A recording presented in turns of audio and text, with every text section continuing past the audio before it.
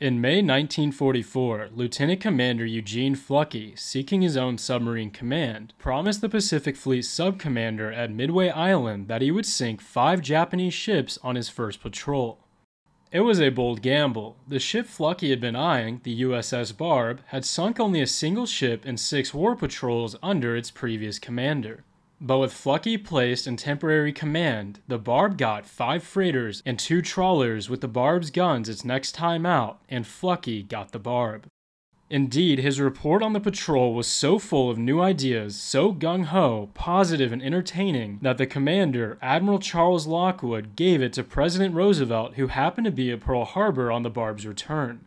FDR enjoyed it so much that he asked that all of Fluckey's future patrol reports be sent along to him and then demanded a bit more.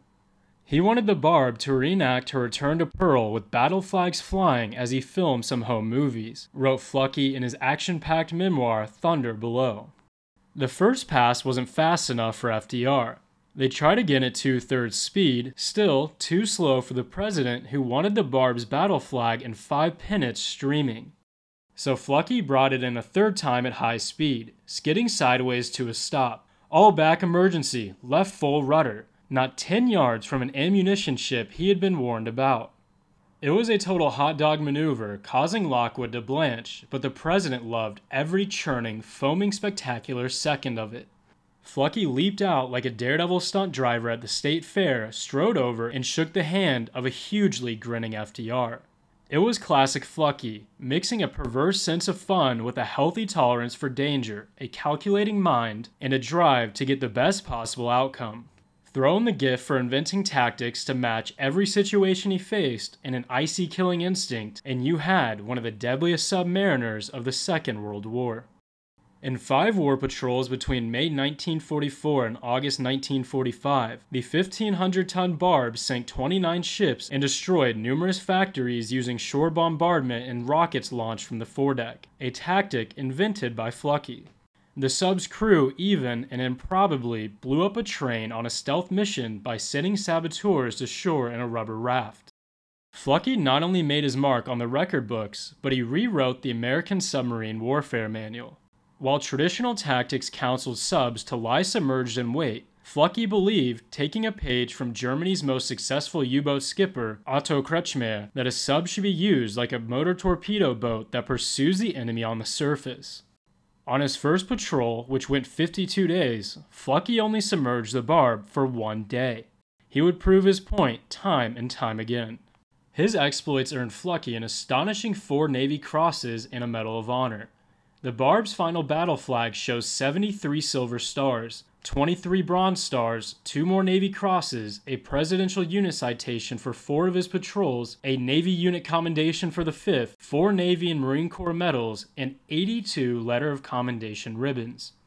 As important in those five daring patrols, there was no loss of life or significant injury to any of his crew members. Fluckey often said that he was most proud of that, bringing his men home without a scratch and they in turn dubbed him Lucky Fluckey for his ability to do so. But luck, he always insisted, had very little to do with it. He prepared obsessively for his missions and applied logic and experience to the calculation of risk. I've always believed luck is where you find it, but by God, you've got to go out there and find it.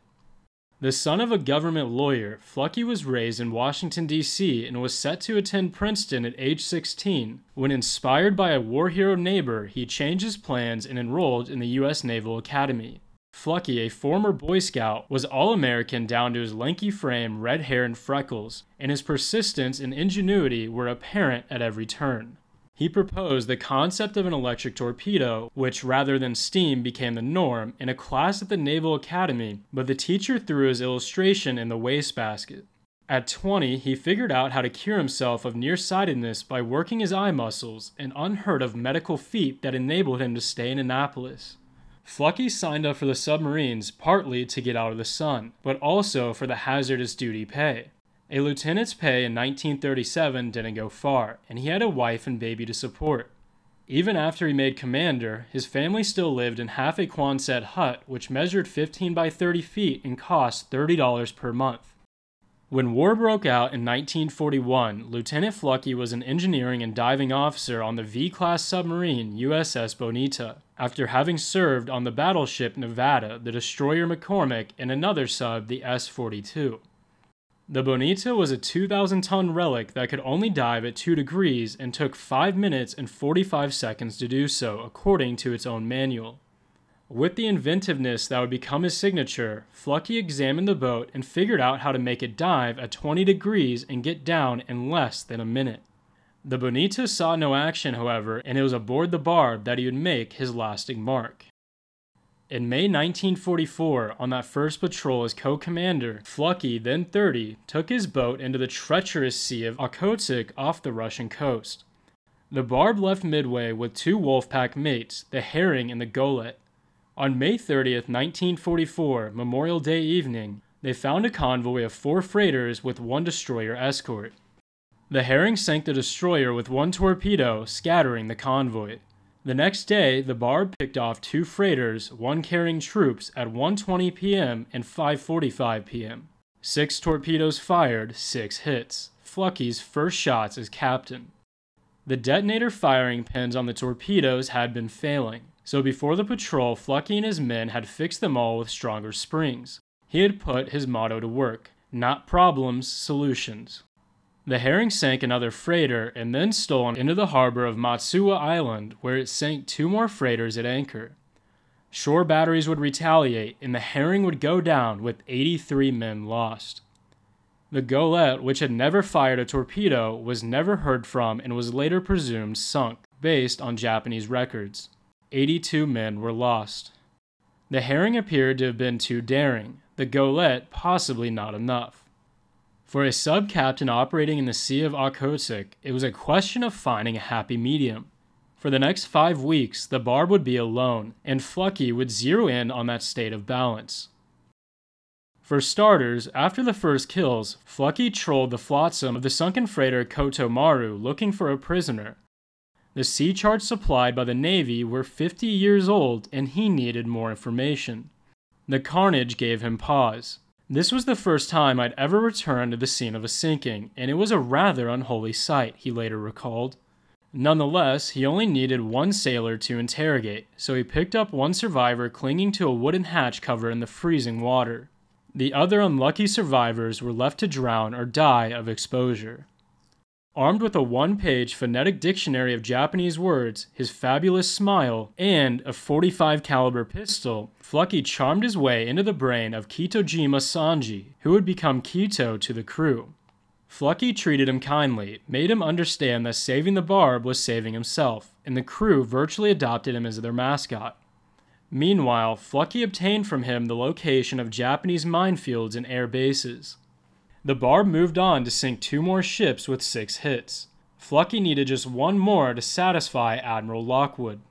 Two days later, Fluckey came upon a convoy in the 5,633 ton Takashima Maru, an icebreaker freighter troop transport. Fluckey camouflaged the barb by wrapping white bed sheets around its conning tower, then tracked the ship for five tense hours. Finally, he circled halfway around the convoy and fired two stern torpedoes at the Takashima, blowing off the fantail and sending the ship to its grave. Escorts came after the Barb and fired 38 depth charges, but Fluckey fooled them by filling a 5 gallon milk can with oil and releasing it to create an oil slick, suggesting that one of the depth charges had hit home. On his second patrol in the South China Sea, Fluckey followed up on the accolades he had earned, proving he was not a one trick pony. He came upon a nine ship convoy running in three columns. In a daring and unorthodox move, Fluckey fired three torpedoes from directly ahead of the convoy, nearly getting rammed by the leading minesweeper. The risk paid off. The single salvo sank a freighter and a tanker. The Barb was vigorously pursued and dodged at least 96 bombs or depth charges from the convoy's escorts and airplanes. Undaunted, the Barb fired three torpedoes at the minesweeper 12 hours later at dusk. I can't miss this, said Fluckey, as he ordered the scopes raised with 15 seconds to impact. And he wouldn't. His guns are manned fore and aft, he narrated to the men in the conning tower with him. There are about 15 lookouts dressed in white on a catwalk above the bridge. An officer is looking. Wham! My God, right under the bridge. Bodies are flying through the air. Wham! Water spout at the well deck. Wham! Under the forecastle, the gun crew's been blown overboard. The ship's breaking into a V. Another 100 or so bombs or depth charges were dropped at the barb as it dove at 25 degrees to a depth of 340 feet. The boat's maximum rated test depth was 312. Later, the barb dropped to 375, its thin skin nearly buckling. The danger passed, the barb resurfaced, and the hunt began anew.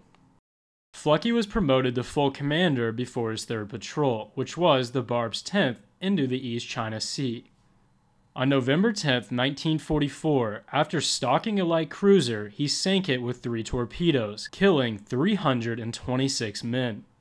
More than 300 explosions chase after the submerged barb, as annoying as a 10 pan band in a small room, said Fluckey. Two days later, the Barb fired eight torpedoes at two freighters and a convoy and sank them both. Said Admiral Lockwood, this attack against a large convoy of 11 ships and four escorts demonstrates in a most brilliant manner how night radar and periscope attacks should be made. A determined and beautiful battle. For all his lethal intent at sea, it seems Commander Fluckey did have a softer side. Resting on Midway Island between patrols, he opened a letter from his wife, Marjorie, that began Dearest Jean, I feel like a perfect fool. How could you do this to me? I have never been so embarrassed in my life. 44 subs, including half of Fluckey's submarine school classmates, had been lost in the Pacific so far. Fluckey hadn't wanted Marjorie to worry, so he had written a stack of letters from Midway, a pack of lies about repairs in port and training missions. He had post-dated them and an accomplice mailed them at the correct time. Marjorie hadn't even known he was fighting. She only found out when other Navy wives told her that her husband was winning Navy crosses and that the Barb had sunk an aircraft carrier, which was the Unyo in September of 1944. Honey, you've been had, her girlfriend said. Still, patrol records in his own commentary suggest Fluckey was as determined a killer as any in the sub fleet. Back in the East China Sea on January 1, 1945, on what would become his storied 4th Patrol, the Barb came across a smoking naval weather ship that two other subs had shot up before a plane chased them away. The crew had put out fires and hid as a boarding party from the Barb looted it, looking mostly for charts. Because the ship was armed with machine guns and was presumed to have radioed for help on seeing the Barb, Fluckey took no prisoners. 13 shots from the 4 inch gun turned the weather ship with its hiding crew into a blazing inferno. We took Kodachrome movies of the event, said Fluckey. No regrets, no mercy. The war, he wrote home to his wife, had changed him. What a pleasure it is to eliminate Japs. Funny thing, I seem to be the most bloodthirsty of the bunch, and I could never steel my heart enough to kill a rabbit. January 8, 1945 was another record-breaking day as the Barb sank six ships. First, the ship raced a convoy of eight freighters and transports and eight escorts all afternoon, running at flank speed in order to get into firing position. Then it fired six torpedoes in a fan pattern. The patrol report from that day reads, Up scope, Stern of the transport is sticking up at a 30 degree angle with two escorts alongside taking off survivors. The bow is in the bottom mud. The brand new engine's aft freighter exploded. There is nothing left but an enormous smoke cloud and flat flotsam. No lifeboats, nothing alive. Nothing. The large freighter leading the port column is on fire amidships just above the waterline. The Barb's Wolfpack sisters, Queenfish and Picuda, attacked from the front, which allowed the Barb to come from the starboard flank and get into the middle of the convoy, where it fired three torpedoes and watched another ship nosedive. Fluckey retreated until things cooled down. When he came back an hour later, he sank a tanker at 1500 yards. But January 8th was just a warm up for January 23rd, the night Fluckey earned the nickname the Galloping Ghost of the China Coast, as well as the Medal of Honor. He put all his ideas together that night good intelligence, knowledge of his enemy's mindset, the element of surprise, a dash of courage, and skillful use of his weaponry and ship. At the time, targets had vanished and he was frustrated by reports that all traffic had holed up. He didn't believe it. He suspected the ships were somehow getting past the wolf pack. He studied every chart and war report that he could. I was brought to a shuddering halt, he wrote in Thunder Below. I realized that the mile wide channel between Haitan Island and the mainland is 10 miles long and only 6 feet deep. Could they possibly have dredged it? If such a dredging had been done, it would have enabled convoys to escape submarine surveillance. Fluckey finally tracked a convoy until it anchored in the dredged Nam Quan harbor. He invited the Picuda to join the Barb in sneaking into the harbor and blowing up ships. Drop dead, the Picuda's skipper was said to have replied. It's easy to imagine Fluckey rubbing his hands together in glee at that response. All the more for the Barb. At 3:20 a.m., the Barb's radar picked up 30 ships in the harbor. Fantastic, all ahead standard. At 3:52 a.m., Fluckey saw the ships through binoculars from 3,000 yards. The ships were in three lines, a complete overlap from end to end. Even an erratic torpedo couldn't miss. No one had ever had such a perfect target.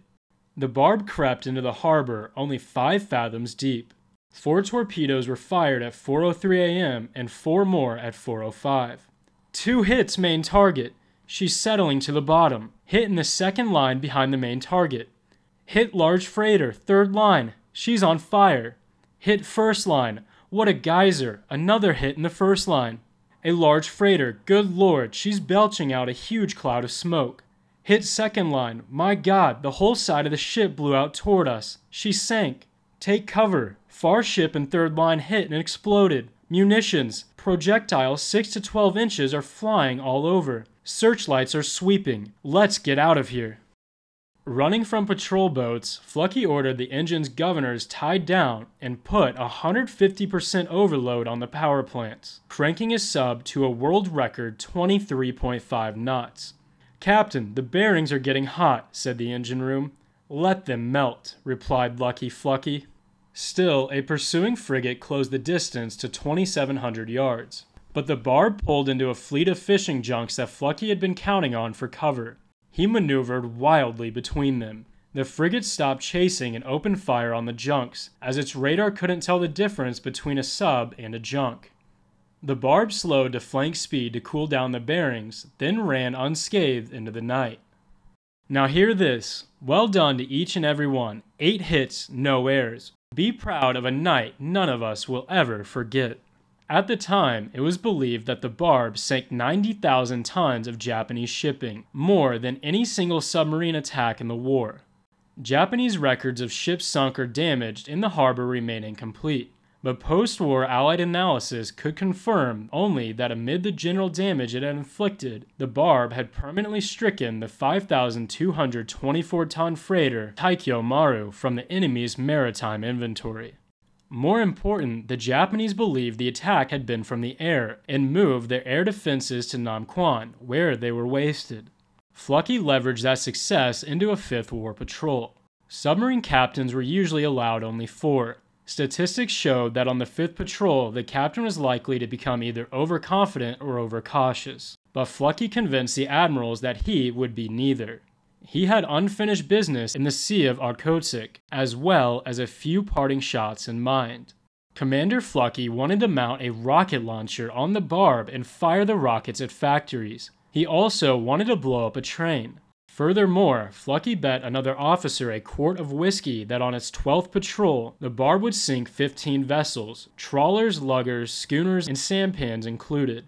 Not your usual goals for a submarine captain, but Fluckey had proven to be anything but usual. With fewer Japanese convoys in the area to supply targets, the Barb's main mission when it departed on June 8, 1945, was to raise a rumpus, recalled Admiral Lockwood. Three wolf packs were sent to hunt ships that the planes and destroyers now guarded some distance away. At 1:50 a.m. on June 22nd, the day after Okinawa fell, History was made when Fluckey gave the command Man battle stations rockets.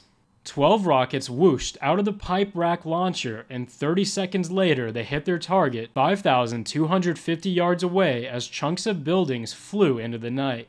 The Barb took off at flank speed to raise more of a rumpus farther north.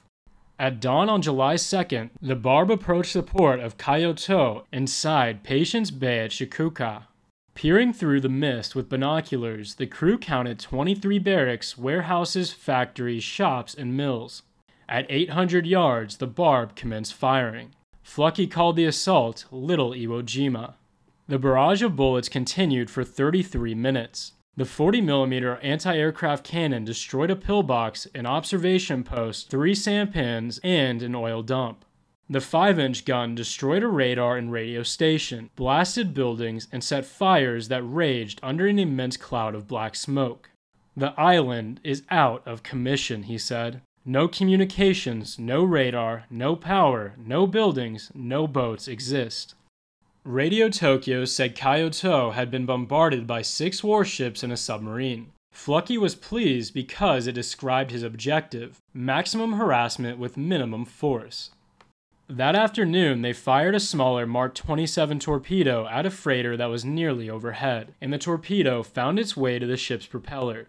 It was the first time a freighter had ever been sunk by a Mark 27, let alone from the allegedly suicidal range of just 75 yards. Four down, 11 to go for Fluckey to win his whiskey. On July 5th, they sank another small freighter, and on July 11th, they got their seventh vessel, a large diesel sampan with the 5 inch deck gun. On July 18th, using the last of the unreliable Mark 28 torpedoes, the Barb got a frigate, Kaibokan number 112. Now it was time for some daring do that would bring the Barb as much fame as any of its previous kills. On July 20th, Fluckey pulled to within 1,000 yards of shore in Patience Bay and watched trains all day. He waited for an overcast night, which came on July 23rd. At midnight, eight saboteurs and two rubber rafts paddled 600 yards to shore and buried 55 pounds of explosives under the track. Every single crewman had volunteered. It was detonated two hours later by a switch triggered by the weight of the train. Boom! Wham! What a thrill, recalled Fluckey and Thunder Below. The boilers of the engine blew, engine wreckage flying, flying, flying up some 200 feet, racing ahead of a mushroom of smoke, now white, now black. 16 cars piling up into and over the wall of wreckage in front, rolling off the track in a writhing, twisting maelstrom of Gordian knots. Commander Fluckey now had to sink seven vessels in just three days in order to win the whiskey. The torpedoes were all gone, but there were some 5 inch shells left and 48 rockets. Our priority is now Shiratori, where we'll recontour for a triple rocket massage, he told his officers. We'll rocket Shiratori just after dark, then proceed at flank speed down the coast and rocket Kashio before dawn. From there, we skid across the bay to bombard Chiri. After that, I'd like one more crack at luring a single minefield frigate into deep water. Rockets away! 36 rockets flew toward two factories and Shiratori's city hall, striking gasoline drums. Fires lit up the night sky. Fluckey invited all hands on deck to enjoy the fireworks before they raced off to their final stop that night. Two hours later, the last dozen rockets blew up more buildings at Kashio. Later in the morning, they got another sampan, taking a prisoner to obtain information about defenses at their next target, Chiri. On the way into Chiri, they got another sampan. They unloaded on Chiri with 43 5 inch shells. On the way out, they got themselves another sampan with the last of the 5 inch shells. All that remained were 3 star shells, which weren't explosive, but no matter. They fired two into a sampan at the waterline, holing the hole, sinking it, and bringing the tally to six sampans for the day. Fourteen vessels down, one to go. The Barb received a message from Admiral Lockwood. Fluckey, you come home, acknowledge. There was no ammunition left except for the 40mm gun and 20mm Oerlikon machine gun. They used the last of the 40mm shells to blow up a lumber mill at Shibutaro, again hitting a fuel tank and causing an inferno. The wind blew the fire onto 17 sampans, which didn't count for the bet because they were collateral damage. Four miles later, they came across a trawler. Looking around for something to throw at the trawler, they came up with a crate of rifle grenades. After 18 lobs, the trawler caught fire but wouldn't sink. So finally, Fluckey rammed it with the barb. It seemed like driving a car into a burning garage, he said. The trawler went down. Some might argue that sinking sampans and trawlers is hardly a challenge, or even a very good use of a well armed American submarine. But to Fluckey, a bet was a bet, and the trawler was his 15th and final kill. So ended Eugene Fluckey's combat career. He would go on to become an aide to Admiral Chester Nimitz after the war, and later, as a Rear Admiral, was named Director of Naval Intelligence. He finally retired from the service in 1972. But he always fondly recalled the ship and crew that brought him such acclaim early in his Navy service. And his departing from the Barb reminds us that even the Galloping Ghost had human dimensions. I didn't have the courage to have a formal relieving aboard the ship with the crew at quarters, he wrote his wife at the time. I would have blubbered. Commander Eugene Fluckey and his barb should be remembered as among the most legendary names in U.S. naval history. And every man that served aboard as a member of his crew should all be remembered as heroes in their own right. Thanks for watching. Remember to like the video and subscribe for more content.